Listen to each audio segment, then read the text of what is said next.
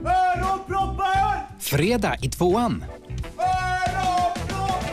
Seriestart för Extra allt.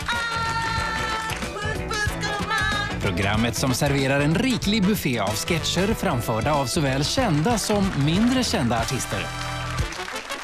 Åtta humorfyllda klubbkvällar med Extra allt. Seriestart fredag 21.30 i tvåan.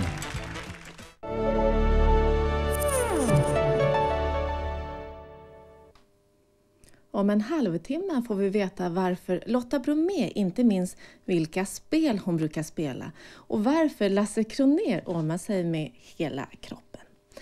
Men först filmkrönikan med Orvar, Orvar Sävström som ikväll bland annat recenserar filmen Silvia om den amerikanska poeten som endast 30 år gammal stoppade huvudet i gasugnen och begick självmord och som sedan blivit kultförklarad.